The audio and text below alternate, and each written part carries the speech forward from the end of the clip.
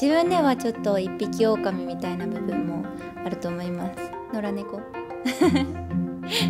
寂しがり屋かもしれないです。でも一人の時間も大事にしたい。もともとは素人だったんですけどモデル系のイベントに連続してずっと出させてもらってて挑戦させてもらってるので少し垢抜けたなってこういう思ってもらえるような姿をリスナーさんに見せることができたらまた次のステップに行けるのかなと思います。